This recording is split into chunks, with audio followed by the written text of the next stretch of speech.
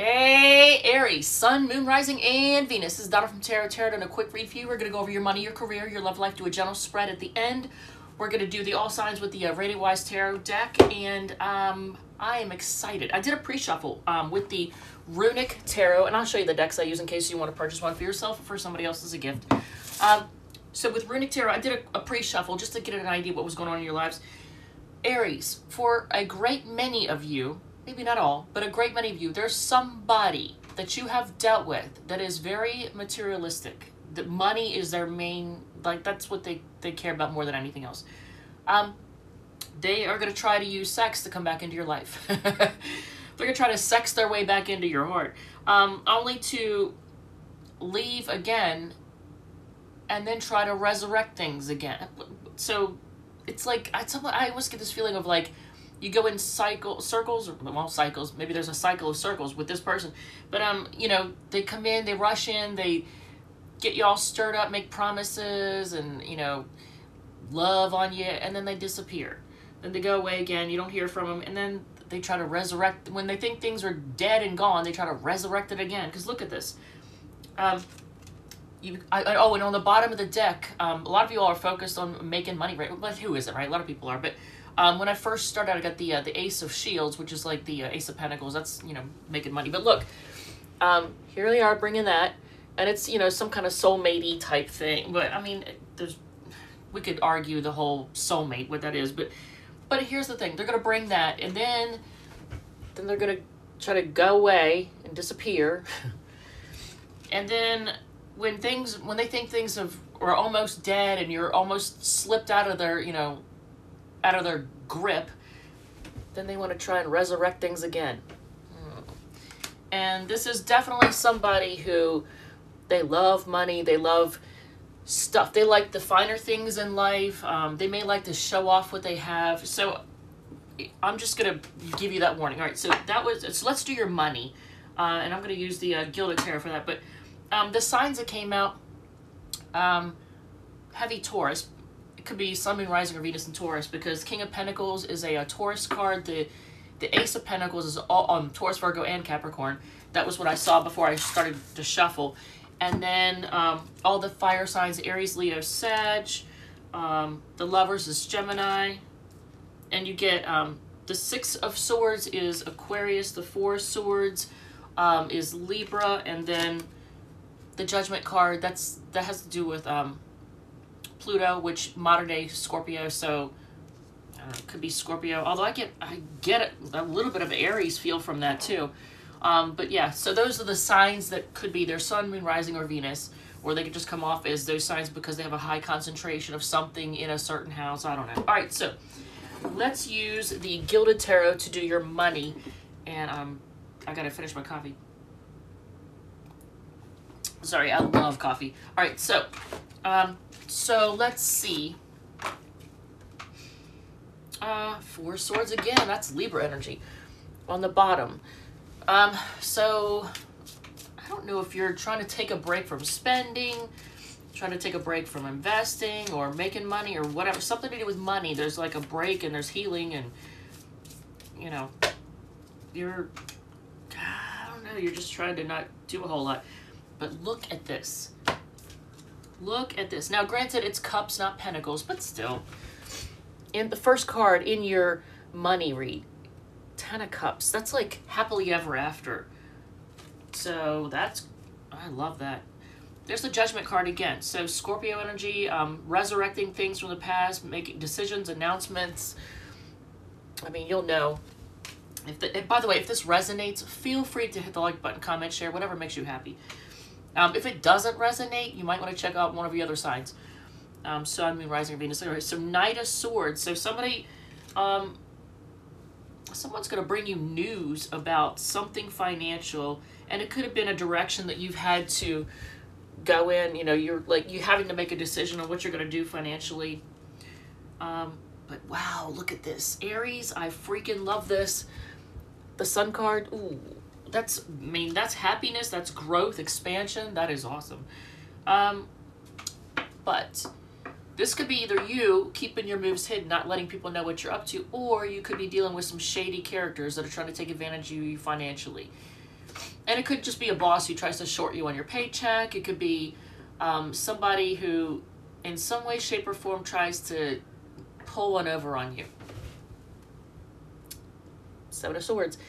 So either someone's trying to take advantage of you, or you're just not letting people know what you're up to. You're keeping your moves hidden. So you'll know, you know, if, if you're not trying to keep your moves hidden, then you'll. There he is again. That's baby, and he literally is like cling wrap. Like whenever whenever he hears me talking to the camera, he has got to sit right behind me, like right there. cling wrap. All right, so let's do your career with the uh, Witch's Tarot. So this deck. All right, so two, oh, ten. Ooh, oh, I like this. Okay, so maybe the reason why your money read is so good is because you're doing really well on your job. Hmm. All right, let's see though. Let's see what's going on.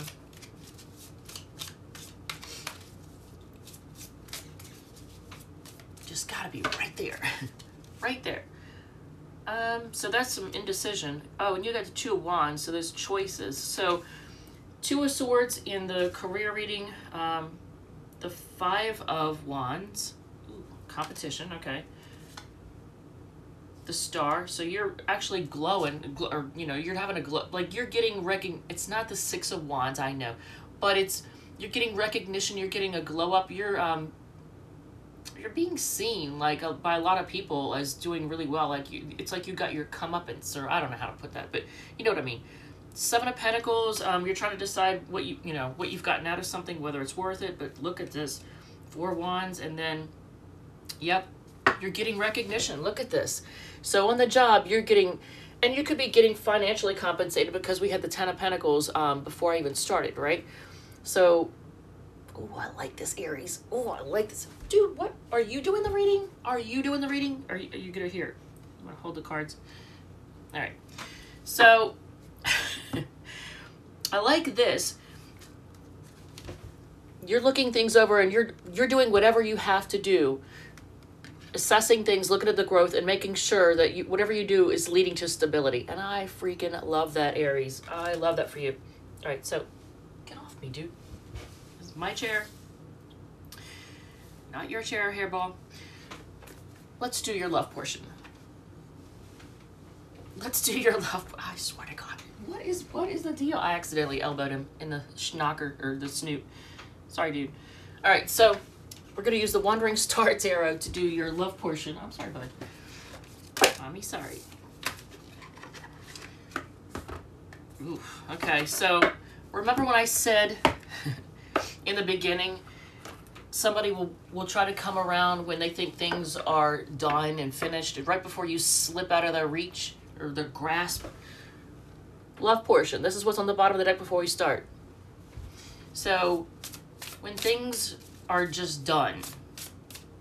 When somebody can, they can sense that when, when things are almost finished. They don't want to let things die. They just want to like try to keep you, I don't know if they want to keep you on hold. I, if we if we come up with the three of wands, I will know. I'll know.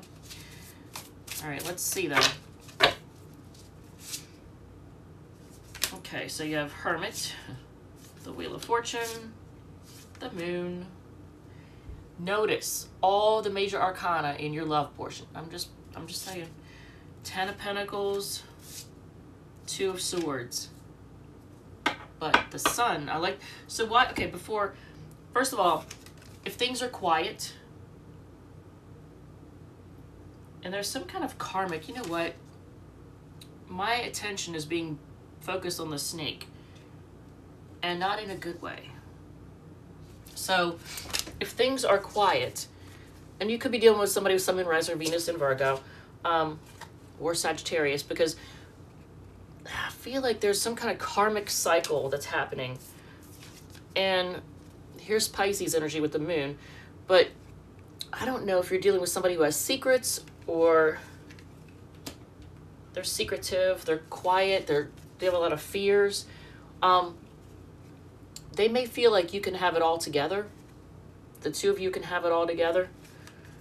And once again, remember I said something about that they like money?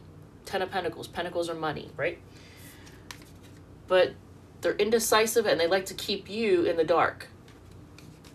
Because the moon with the two of swords, that's that tells me that somebody somebody likes to keep you in the dark. This cat is driving me crazy. so the sun is on the bottom of the deck. That's happiness and expansion. So what's going on? What's with your love life? So what is the sun? Because, I mean, look at this. So what is the sun? Ace of Pentacles. Um, well, that's you, uh, once again you making money. So are you getting a new start with somebody who has very earthy energy and they're very stable? Is it a new start with somebody stable? King of Swords. Um, that's Aquarius energy. But it's somebody that's honest. Someone who's honest. Honest, but impulsive. Well, that may not be a terrible thing. Okay, so if you're getting a new start with somebody, what are their intentions? What are their intentions? Fuck. I'm sorry, Aries. I don't know if it's a new person or an old person because look, King of Wands, yeah, that's that's their intentions. So yeah, they're they're here for the uh, good time. I know it's not the Knight of Wands, but and it could be somebody who likes to, to be in charge and steer things like they like to have control over situations and the direction that things go they like to be the one in control um, like the one pulling the, the strings, holding the reins. Because here is the chariot card giving me more information about the person. All right, so, well, there's that. What is your advice? What is the advice? Um, so if it's a person from the past, let that tower fall because it's a disaster. They're a disaster if it's somebody new and you get the like that that red flag or that gut feeling like pay attention to your gut if you get a gut feeling like something is just off with this person any kind of warnings in your gut let that tower fall because they're a disaster all right so let's do your general i want to do the general uh yeah yeah okay I, I confused myself because I did a pre-shuffle. So I see four decks here and I'm like, oh, I already did. But no. So this is your general spread with the Cosmo Tarot. It's a fun deck. It's a fluff deck. Um, Eight of Swords. So are you stressing out over something? What are you stressing out over? If you are, what is going on? And what, let's see, uh, Two of Swords came up twice. That's Libra energy.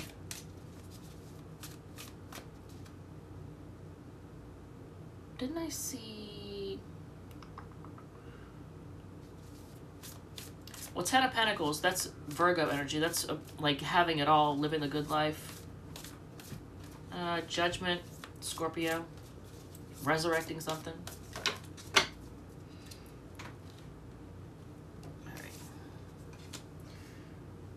Alright, so something about the past that gave you trust issues made you feel stuck, growing in different directions. Oh my God. Wheel of Fortune, again, that's Sagittarius energy, and that's all about cycles and karma.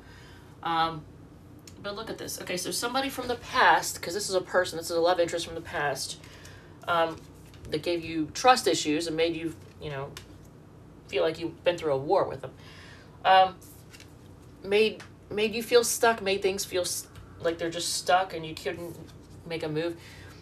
Um, and you ended up growing in different directions. And this is who they are the Knight of Wands, the player. It doesn't matter their gender, the player. So this is a karmic cycle that you find yourself stuck in. So if you have a hard time letting go of someone, it could be because there's a trauma bond. So what is your advice on that? And I feel like I already, well, we already got the tower, right? Any other advice on it? So Queen of Cups. before I, this is a pretty queen, queen of cups, but before I, because usually this is like offering love and it's not the queen looking at the cup because when the queen is looking at the cup it's focusing on self-love. Um, it, you know healing and growing. Yeah see there it is. So that would be it. Eight of cups is like walking away. So it's telling you to walk away from anything that's karmic all right so let's do the all signs with the radiant wise deck and if this is if this rings a bell, if it resonates, if it, you know, helps in any way, let me know. Here, you are being guided to have firm boundaries with people. Don't tolerate any crap. Be very clear in your intentions, what you will and won't tolerate. Because look at this. Look at this. An indecisive player. just keeps wanting to be seen. Keeps wanting to be seen. Hmm. Indecisive player. People that are indecisive just need to piss off. All right, so if you're dealing with an Aries, they have an apology. So if you're dealing with a fellow Aries, they have an apology. And they want to grow with you. They may want to have children with you. Uh, Taurus is going to reach out. They want things to be fair.